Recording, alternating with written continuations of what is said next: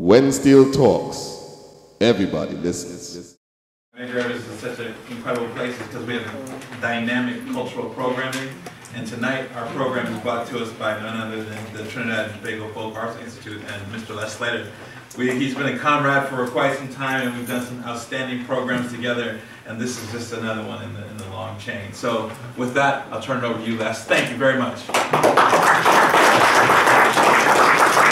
Thank you. Thank you, uh, Miles. Um, we, I was just talking a little bit earlier about when we first started doing stuff with Medgar Evers years ago, because the Folk Arts Institute got going at the start of the 90s.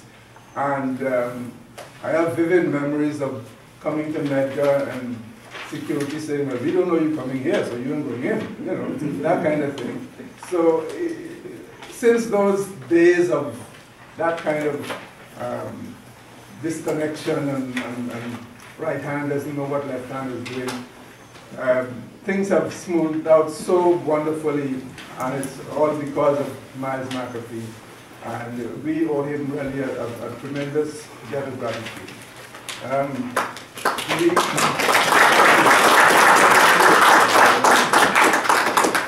um, we um, first thing I, say, I think I should say is that I hope there's no one still here, or no, no one here, who still has the misapprehension that Sparrow is going to be here and performing or something like that. You know, and we, we answered this question a million times because people, in spite of you putting out, uh, you know, press release and so on and so forth, some people even said, I remember one caller said, I heard there's an 80th birthday celebration for Sparrow. so, you know, you, you, but if, in, in case anyone's still here, anyone here is still of that um, uh, mistaken impression, no Sparrow is not here, not expected to be here. He had told us that if he was in the country, he would like to be here. Uh, but he, I don't think, is in the country right now. I think you know, probably still in Trinidad, maybe getting another two million, who knows? so, um, but we thought uh, the fact that he had uh, gotten to age 80 was a nice marker for us to use as the vehicle for taking a look at the really remarkable career that this guy has had. And so the title is just like that, Sparrow turned in. Um, of course, it hints at the fact that for decade after decade after decade after this guy came on the scene, back in the 50s, Sparrow was the perennial young boy, the headquarters for testosterone and all this kind of stuff, you know, you know. So the idea that this guy could be 80 years old, this didn't seem to register, or connect with a whole lot of people. And we thought this was maybe one way of dealing with it in a realistic way. He is indeed 80 years old. And so, so we wanted to have a look at his career. Um, just a little while ago, I asked our impromptu tech guy, who is um, Chris Mueller from City Lore, who happens to be here and was interested in, in this program and, and, came by and has been helping us with the tech stuff while James, the, the Medgar Evers guy, was busy doing a million things. He says he's the only guy here and he's been torn in a whole lot of different directions. So, um, Chris, um, thank you for pitching in and helping us uh, with this stuff. But I asked Chris a little while ago to just play the first cut of a special selection of, of Sparrow material that we put together, which opens with his winning that um, crown in 1956. And at the start of it, you hear a fanfare. And I don't know if people who are familiar with Cook records remember all of that. But there's a fanfare, and I'm wondering, I wonder if Emory Cook, who is, which is the guy who was behind Cook Brick Records, and they made that wonderful um, 1956 album called Jump Up Carnival, which has the steel band thing in it with the guy saying Zombie and all that stuff. The older folks, I mean, you young people wouldn't know about that, but older folks know about that.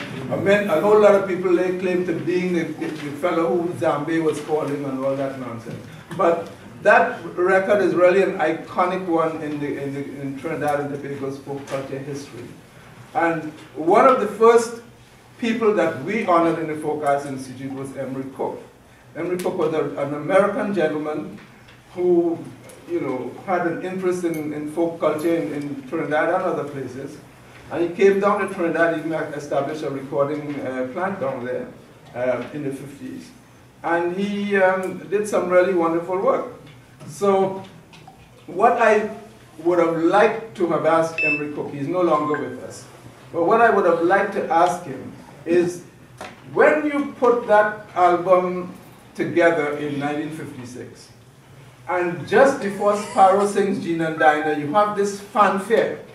I'm wondering if you knew what you were signaling, that this guy was going to be the dominant calypso figure that we have had all these years.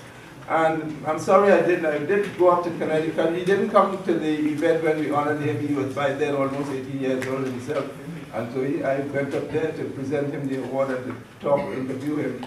And uh, I wish I knew, I, I thought of the, the, record at that time, and so I could ask him, what got into your head to introduce Sparrow on that record with a fanfare?